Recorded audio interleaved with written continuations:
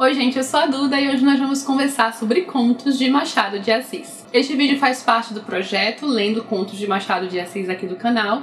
E se você não conhece o projeto, eu vou deixar a playlist aqui em cima nos cards. Aí você pode conferir o vídeo de apresentação e saber também como participar. Então, no mês de fevereiro, nós lemos os 10 primeiros contos dos 50 contos de Machado de Assis. Deste livro aqui, nós estamos seguindo os contos selecionados pelo John Gladson e esses contos que nós lemos em fevereiro foram contos escritos entre 1878 e 1882. Aqui na parte final tem exatamente a cronologia, foram colocados aqui em ordem cronológica. Mas antes de começar a falar sobre os contos, eu quero deixar claro que este não é um vídeo aula, não é um vídeo que a gente vai se aprofundar é um vídeo para a gente trocar impressões sobre as leituras, sobre os contos de Machado de Assis, da forma mais leve e descontraída possível.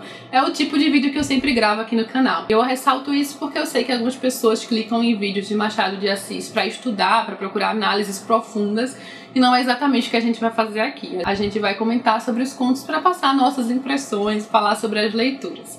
Então, bora lá. A gente começou com o Machete que tem um ar meio melodramático, né? O personagem principal desse conto é um homem que tem amor pela música desde criança e ele toca violoncelo. Aí você pergunta, cadê o machete nessa história? O machete, que na verdade é outro nome para o cavaquinho, e eu não sabia, eu vi numa notinha que tem aqui nessa edição, vai entrar aí depois com dois admiradores que vão escutar o personagem tocando violoncelo em sua casa com sua família e um desses personagens toca o machete. Então vai ter esse contraste entre o violoncelo clássico, uma música grave, com composições muito internacionais e o machete mais leve, descontraído, aquela música mais popular.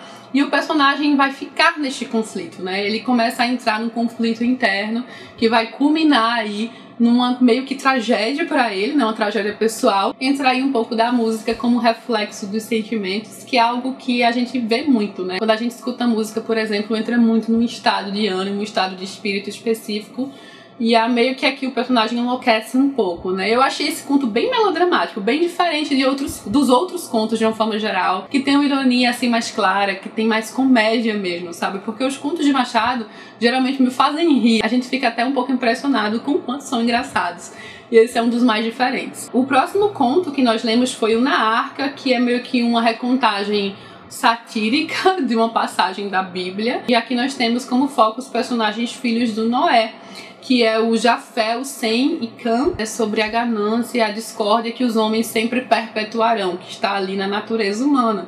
Porque eles estão ali na arca como as pessoas que foram salvas, mas eles vão começar a discutir por uma banalidade, um absurdo, né? A gente tem aquela linguagem bíblica que vai sendo ali um pouco modificada e torna esse conto tão engraçado por conta disso. É um conto bem interessante de forma geral e bem engraçado, assim, né? Mesmo que nós estejamos lendo meio como uma passagem bíblica. E aí o próximo conto é um dos mais famosos do Machado de Assis e dispensa apresentações. Nós lemos O Alienista e nós temos aqui o doutor Simão Bacamarte que vai construir e tornar possível ali em Itaguaí, é assim que se diz, né? No Rio de Janeiro, no estado do Rio de Janeiro, uma chamada Casa de Orates. Eu não sabia o que significava Casa de Orates. O Simão Bacamarte fala que o principal nesta minha obra da Casa Verde é estudar profundamente a loucura, os seus diversos graus, classificar-lhes os casos, descobrir enfim a causa do fenômeno e o remédio universal. Este é o mistério do meu coração. Creio que com isto presto um bom serviço à humanidade. Será mesmo que ele vai prestar um bom serviço à humanidade? Então esse médico vai começar a perceber sinais de loucura nas pessoas que moram em Itaguaí. E de início a gente vê aqueles sinais de loucuras mais típicos, assim, mais populares, sabe? A gente vê um homem, por exemplo, que matou a esposa, algumas manias meio malucas em alguns personagens, né, que são primeiramente introduzidos, mas depois o doutor vai começar a perceber pequenas loucuras que estão presentes basicamente em todas as pessoas e é aí que o medo vai se instalar em Itaguaí. Todos começam a ficar receosos que sejam os próximos loucos internados na Casa Verde. Aqui a gente tem, numa cidade pequena, as coisas típicas da natureza humana condensadas, né? Que é as pessoas bajuladoras, as pessoas que tomam o lado que tá ganhando, né? Que quando veem que estão perdendo já passam pro outro de acordo com o benefício próprio. E aí surgem rebeliões, surgem pessoas contra. Uma coisa bem significativa nesse conto é aquele momento em que é formado todo uma revolta, né, contra a Casa Verde. E eu acho que é o barbeiro da cidade que se torna líder ali desse povo para poder acabar com a Casa Verde, acabar com o absurdo de internarem todas as pessoas, os seus amigos, familiares lá neste local. Só que aí a gente vê que quando ele enfim consegue o que quis, e meio que vai ali moldar da forma que o beneficia mais. Então ele se torna um homem político ali, né? Ele se torna uma figura pública e líder daquele povo, mas na primeira oportunidade ele vai conversar com Simão Bacamachi para tentar arrumar um jeitinho de continuar daquela forma. E aqui a gente vê toda aquela hipocrisia política, né, que nós vemos sempre, pessoas iludindo a população para os seus próprios interesses, basicamente, né? Tem tudo aqui condensado na história, muita ironia e já dizia o ditado de médico e louco, todos temos um pouco. E aí entra aquele conflito no Simão Wakamashi, se todas as pessoas estão no manicômio, será que todas as pessoas são loucas? Mas como isso seria possível, né? A população inteira ser louca? O mais comum seria que uma minoria fosse, a maioria fosse o que é considerado comum.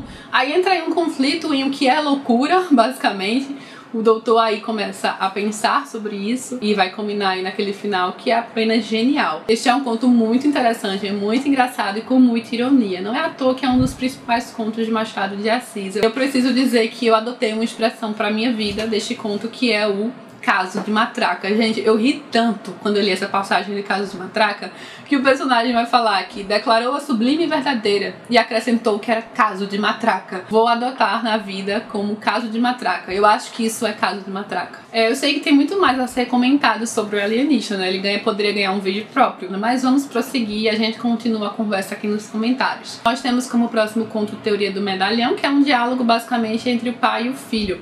Ele fala sobre ser um medalhão e eu fiquei na dúvida do que seria isso, mas basicamente o medalhão é um estilo de vida, né? É uma forma e muito irônica de como ser bem sucedido. Eu até anotei aqui na página, enquanto eu estava lendo, que é um exercício de mediocridade para atingir o sucesso popular. O pai vai passar várias dicas de como o filho pode atingir com o tempo um sucesso, um sucesso social, sabe? De ser uma pessoa popular e ser uma pessoa bem conhecida e bem querida na sociedade. E você vai perceber toda a ironia de Machado de Assis lendo essas dicas e a verdade por trás delas, sabe? Eu achei isso incrível, eu gostei muito deste conto. E ele vai meio que coroar tudo isso mais próximo ao final, quando o pai vai passar um dos últimos conselhos, que ele diz que somente não deves empregar a ironia, esse movimento ao canto da boca, cheio de mistérios, inventado por algum grego da decadência, contraído por Luciano, transmitido a Swift e Voltaire feição própria dos céticos e desabusados. E na verdade era isso que o Machado mais fazia. Ele era grande admirador dos autores irônicos, da ironia, e ele basicamente mergulhava suas histórias em ironia. Então isso aqui é para coroar apenas o finalzinho deste conto. O próximo conto foi uma visita de Alcibíades e explica quem foi Alcibíades, porque eu não conhecia.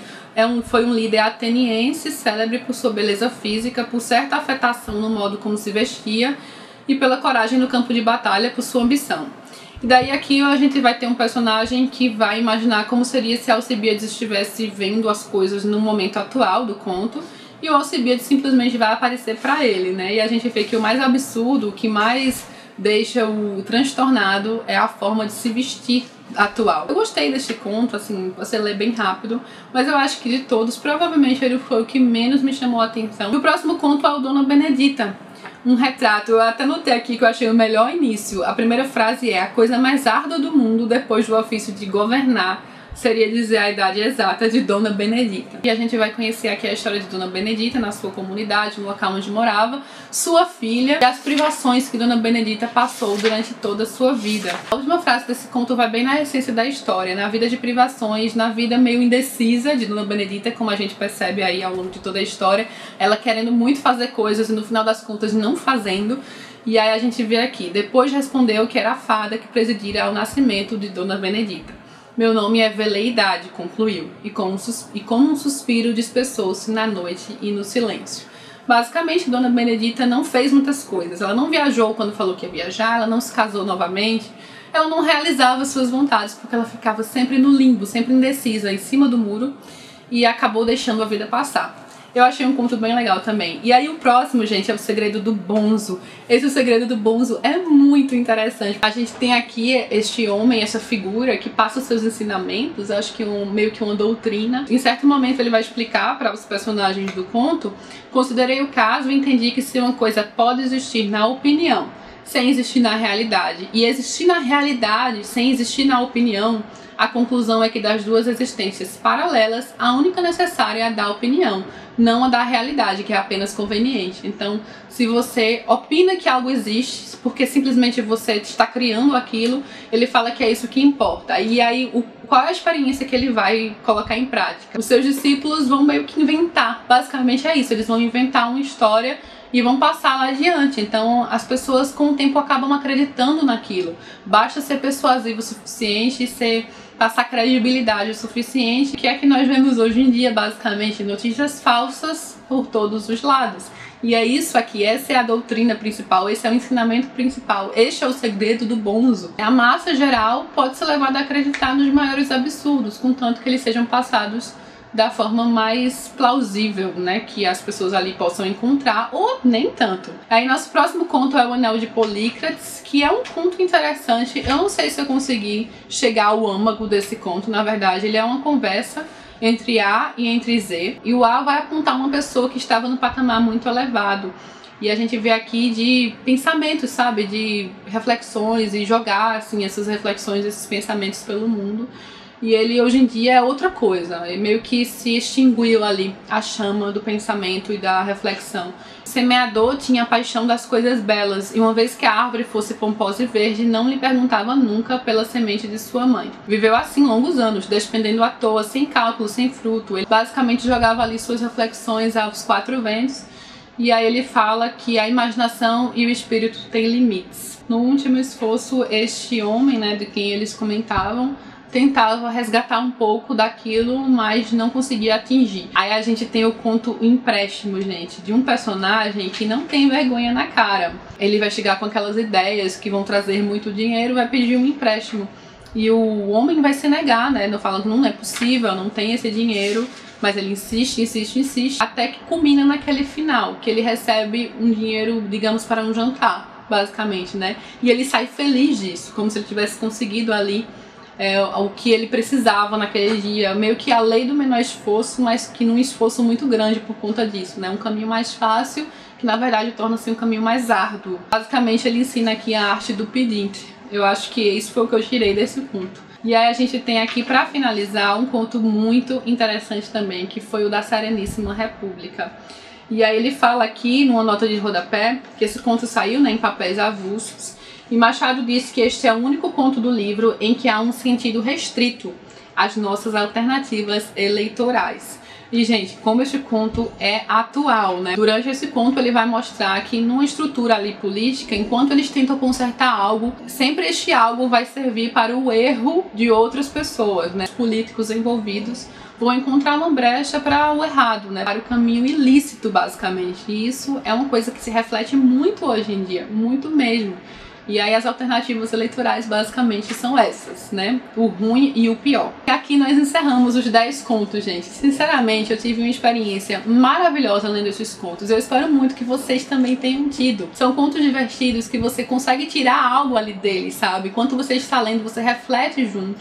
E a ironia de Machado sempre presente. Então, muitos deles são bem engraçados. Não tenha medo de ler Machado de Assis quando eu li depois, né, de adulta, o Memórias Póstumas de Brás Cubas, eu fiquei impressionada com o quanto eu achei o livro engraçado. Essa foi a palavra que eu comentei na época, com o quanto eu me diverti lendo.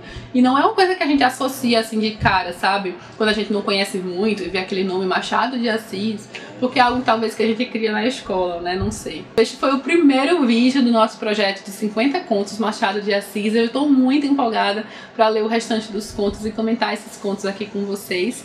E me conta aqui embaixo suas impressões de leitura, o que você tirou aí de algum conto. Vamos trocar ideias, porque essa é a melhor parte. Você com certeza pode ter visto algo que eu não vi em algum desses contos. E aí a gente conversa aqui nos comentários. Para o mês de março, no projeto, nós vamos ler mais 10 contos aqui deste livro e eu deixei a lista com todos os contos bem certinhos, separados por mês, no vídeo de introdução ao projeto, tá, gente? Que eu vou deixar aqui nos cards. Então, se vocês tiverem alguma dúvida, é só dar uma olhada lá quais são os contos para ler durante o mês de março.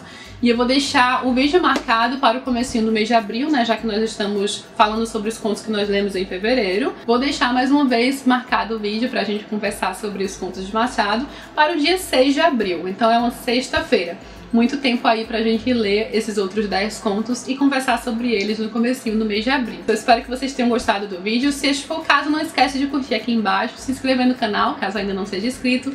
Um beijo e até a próxima!